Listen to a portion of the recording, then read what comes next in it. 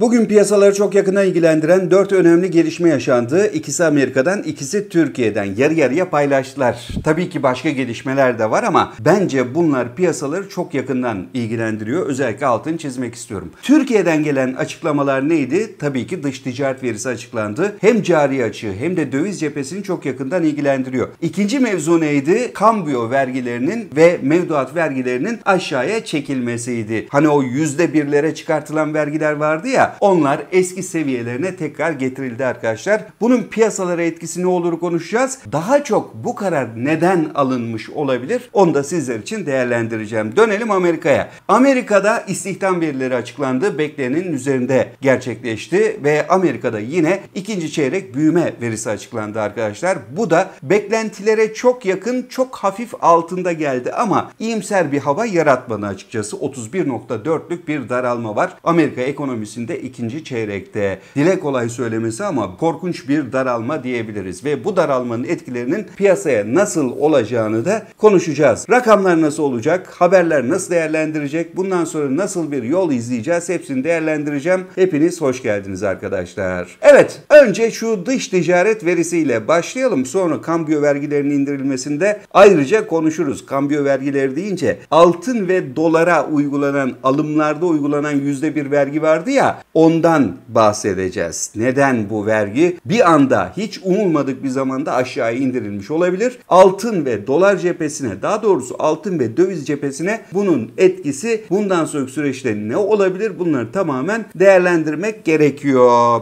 Dış ticaret verisine bakarsak ihracat %5.7 oranında azaldı Ağustos ayında. Bakın burası çok önemli. İthalat %20.4 oranında Ağustos'ta arttı. Dış dış ticaret açığı da Ağustos ayında %168 oranında arttı. İhracat 12 milyar 464 milyon dolar, ithalat 18 milyar 742 milyon dolar oldu. Ocak-Ağustos'ta ithalat 135 milyar 347 milyon dolar. Ocak-Ağustos döneminde ihracat 102 milyar 343 milyon dolar oldu. Farkı alırsak da 33 milyar dolarlık çok net bir dış ticaret açığı var. Bakın cari açık değil. Dış ticaret açığından bahsediyoruz. Ama turizm gelirleri dipte olduğu için sevgili dostlarım büyük ihtimalle bu ay itibarıyla biz zaten 30 milyar dolarlık cari açığı da geçmiş olacağız. Öbür taraftan çok önemli bir veri daha. İhracatın ithalatı karşılama oranı %66.5 oldu. Enerji altın harici ithalatsa Sayın Bakan'ın söylediğinden çok farklı. 12 milyar 500 milyon dolarlık altını ve enerjiyi dışarıda bıraktığımız zaman yaptığımız ithalat yani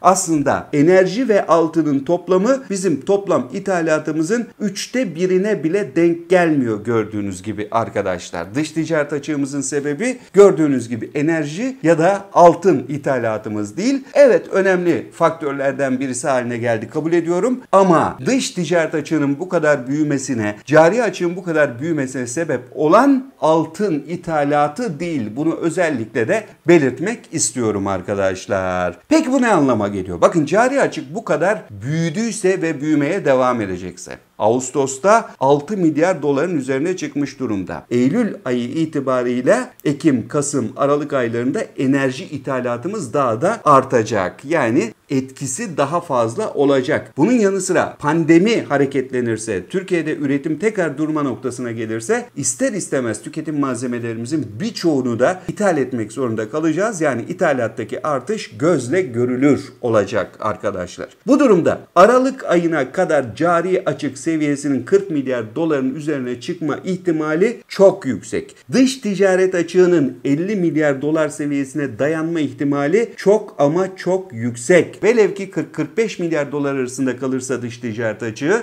ve turizm gelirlerini bu açıktan çıkartırsak yine Türkiye'nin 30 milyar dolar civarında bir cari açığı olacak ve bunun sürdürülebilir olması mümkün değil. Şimdi olay nereye bağlanıyor? Gelin biraz da bunu konuşalım. Tabii ki dövize bağlanıyor arkadaşlar. Eğer Eğer dış ticaret açığınız bu kadar büyükse, cari açığınız bu kadar hızlı bir şekilde büyümeye devam ediyorsa, diğer tüm makroekonomik verileriniz bozuluyorsa, başta işsizlik, enflasyon olmak üzere büyüme verileriniz bozuluyorsa, aynı zamanda kısa vadeli dış borcunuzu çeviremez hale geldiyseniz, bütçe deliğinizde her geçen gün biraz daha büyüyorsa bu kontrolden çıkmış bir ekonomi demektir. Kontrolden çıkmış bir ekonominin yurt dışı karşılığı CDS'tir yani risk primidir. Risk priminin daha da yükseleceğini önümüzdeki dönemde göreceğiz arkadaşlar. Düşük müydü? Hayır zaten 500 ile 600 arasında gidip gelen bir CDS puanımız var. Bu risk priminin daha da yükseldiğini düşünün. Yani 600 bandını kırıp 700'leri zorlamaya başladığını düşünün. Bu bizim borçlanma maliyetlerimizi daha da arttıracak. Borçlanma maliyetlerimizi arttırması dışında borç bulma ihtimalimizi daha da düşürecek. Bu borcu bir şekilde çevirmeye çalışacaklar. Çeviremedikleri zaman işte dolar krizi ortaya çıkacak. Yurt dışından kaynak yaratılamazsa mecburen yurt içine dönülecek. Yurt içi kaynak nedir? Tabii ki vatandaşın aldığı dövizler ya da Merkez Bankası'nın elinde bulunan dövizler. Nedir o dövizler? Tabii ki Merkez Bankası rezervlerinden bahsediyorum arkadaşlar. Merkez Bankası rezervleri bu süreci karşılayabilecek güçte mi? Değil. Şu anda Merkez Bankası rezervlerinden swapları çıkarttığınız zaman ki yarın öbür gün bankalar yurt dışından borç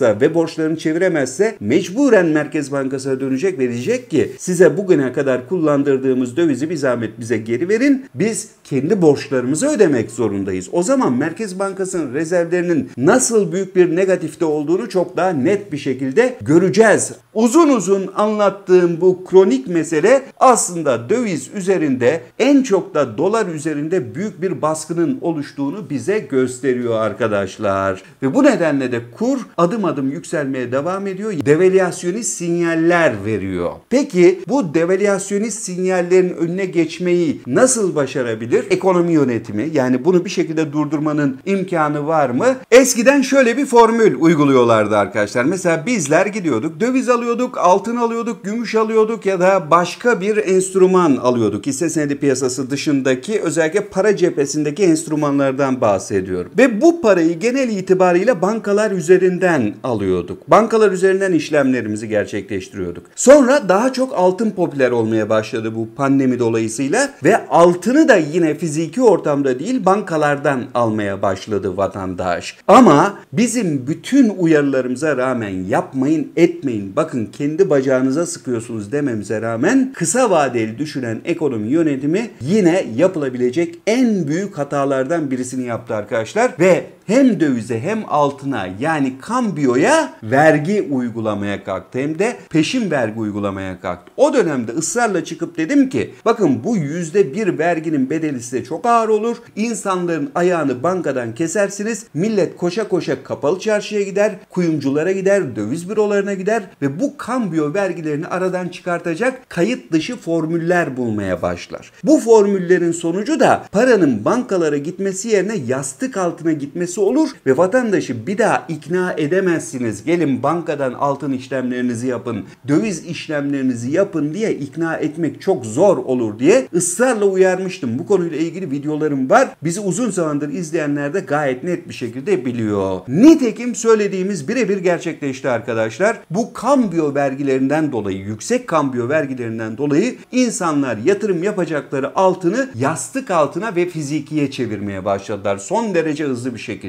Öyle ki darphaneler gece gündüz çalıştı, bayramda çalıştı, tatillerde çalıştı ve yetiştiremedi. Altın yetiştiremediler. Ve nitekim altın ithalatının artışından da bunu çok net bir şekilde görüyoruz aslında. Öbür taraftan kapalı çarşı da mal yetiştirememeye başladı. Bakın kapalı çarşı zaman zaman mesai saatlerini zorladı, mesai günlerini zorladı. Millete altın döviz yetiştirebilmek adına. Dolayısıyla insanların büyük bir kısmının ayağı artık kapalı çarşıya ya da benzeri kuyumculara ya da döviz bürolarına alıştı. Yastık altına ayakları alıştı. Yıllarca uğraşılarak yastık altından çıkartılan altın döviz birkaç ay içerisinde tekrar yastık altına gönderildi arkadaşlar. Oysa kaydi olsaydı bu paralar yani hala bankaların hesabında olsaydı ekonomi yönetimi önceden yaptığını yine yapabilirdi. Neydi önceden yaptığı? Bizim yatırdığımız her kuruş döviz ya da altın kullanılarak dövize baskı yapılabiliyordu ya da Merkez Bankası rezervleri daha güçlü gösterilebiliyordu ya da bankalarla çok daha rahat bir şekilde swap anlaşması yapılıp onlara Türk lirası verilip yüksek faizle karşılığında döviz alınabiliyordu, altın alınabiliyordu Merkez Bankası tarafından. Bu yüzde bir vergi uygulaması ile birlikte bu büyük avantajı da kaybettiler. Şimdi ne Merkez Bankası ne ekonomi yönetimi ne de bankalar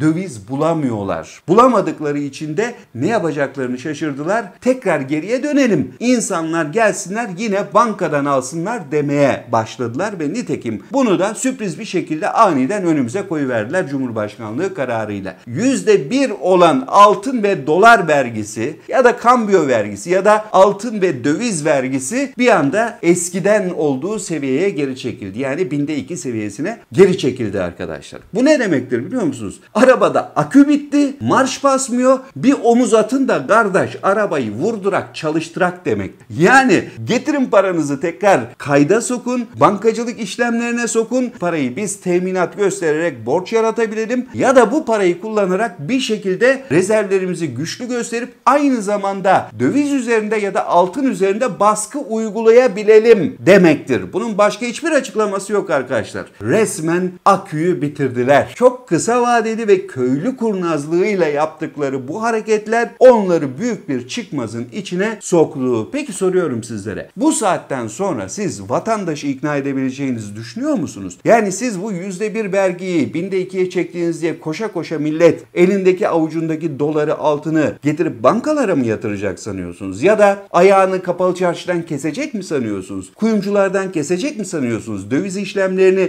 gidip bankalardan mı yapacak sanıyorsunuz? Bunu 3 ay önce, 4 ay önce bu vergiyi gereksiz yere koymadan önce düşünecektiniz. Bugün akü bitti, araba çalışmıyor. Hadi getirin paranızı verin. Hadi bizim aküyü dolduralım. Bir de omuz verin, sırt verin. Arabayı biraz ittirelim, vurduralım kafası bu. Ama bu kafa kusura bakmayın yemez arkadaşlar. Niye yemez biliyor musunuz? E komşunun arabayı bir kere itersin, iki kere itersin ama adam her gün kardeşim seni çağırıyorsa bir omuz at buna diyorsa e yeter artık kardeşim dersin. Üstelik bu adam bunu kullanıyorsa ve aynı zamanda benzini de sana aldırıyorsa bir dakika kardeşim dersin. Nitekim şu anda gördüğümüz tablo bununla aynıdır. Peki bu neye sebep olur? Vatandaşın büyük bir kısmı artık kaydı işlemlere girmeyecektir. Ama döviz almaya, altın almaya emin olun devam edecekler. Çünkü ekonomik kırılganlıkların ve bozulmanın ne kadar net bir şekilde karşılarına çıktığını daha da iyi görmeye başladılar. Bu Türkiye'deki döviz kırılganlığının daha da artmasını beraberinde getirir. Çünkü fiziki talep demek artık mecburen o dövizin bankalar tarafından ya da kuyumcular tarafından ya da döviz büroları tarafından insanlara sunulması demek. Yani bir varken üç satamazsınız artık. Mecburen o miktarda elinizde mal olacak demek bu saatten sonra. Bu döviz kıtlığında her geçen gün talebin artmasıyla birlikte fiyatların kontrolsüzce yükselmesi ve devalüasyonist bir etkinin karşımıza çıkması anlamına gelir. Ve gelelim şimdi rakamlara. Rakamlar bize ne söylüyor?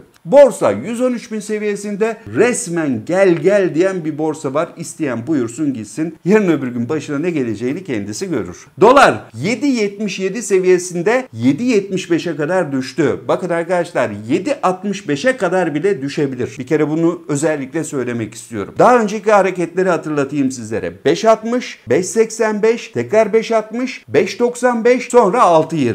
Aynı şeyi 7'ye gelirkenki seviyede de gördük. 4'ten 5'e giderkenki seviyede de gördük. Dolayısıyla burada olacak şey şu. 7.85 zorlandı. Oradan geriye gelecek. 7.65-7.75 aralığında bir süre gidecek. Dalgalanacak. Düşüyormuş havası verilecek ama düşmeyecek. Sonrasında 7.95'e gidecek kur. İlk durağı burası olacak. Burada bir süre bekletilecek arkadaşlar. Eğer ki tutulabilirse elbette ya da birileri tutmak isterse elbette. Daha sonra 7.95'i kırıp 8.20-25 aralığında doğru ilerleyecek. Aynen geçtiğimiz dönemde gördüğümüz hareketleri göreceğiz. Ve sonrasında arkadaşlar yıl sonuna doğru da 9 lira ile 10 lira arasında bir dolar kuru göreceğiz. Euro da buna paralel yükselecek. Sterlin de buna paralel yükselecek. Gram altın ve gümüş de buna paralel yükselecek. Ama onsun değerleri şu anda zaten dip seviyelerde olduğu için o dönemdeki risklerle birlikte altın 2000 doları çoktan aşmış olduğu için gram altının yükselişi şu anki doların yükselişine göre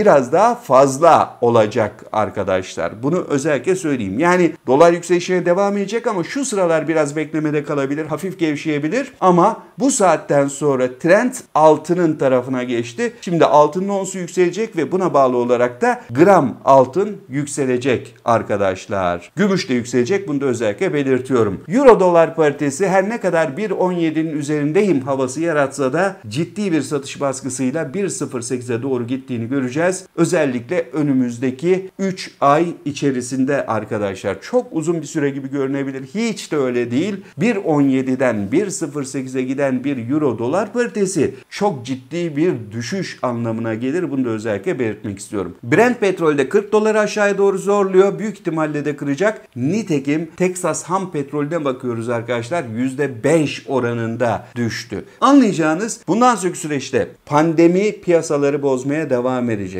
Diğer taraftan Türkiye'deki makroekonomik gelişmeler özellikle cari açık doları zorlamaya devam edecek. Her an devalüasyonist etki görebiliriz ve bir sabah uyandığımızda 14-15 liralık bir dolar kuru karşımızda olabilir arkadaşlar. Buna bağlı olarak da gram altında da yükseliş eğiliminin olduğunu göreceğiz. Kritik son bir noktayı söyleyeyim arkadaşlar. Altının onsunun dip noktalarındayız. Bakın göreceksiniz önümüzdeki günlerde altının onsu kontrolsüzce ve çok hızlı fişekleyecek. Aman ha buna hazırlıklı olun arkadaşlar. Bunu özellikle belirtmek istiyorum. Evet bu videomda sonuna geldim. Yeni videoda tekrar birlikte olacağız. Görüşene kadar hoşçakalın, mutlu kalın. Yorumlarınızı mutlaka bekliyorum. Abone olmayı ihmal etmeyin. Bildirimlerinizi mutlaka açın. Sizlere çok daha hızlı bir şekilde ulaşıyorum. Eğer videoyu beğendiyseniz mutlaka ama mutlaka dostlarınızla paylaşın. Katıl butonuna basarak kanalımıza destek verebilirsiniz. Beni Instagram'dan da takip ederseniz mutlu olurum. Görüşene kadar hoşçakalın, mutlu kalın dostlarım.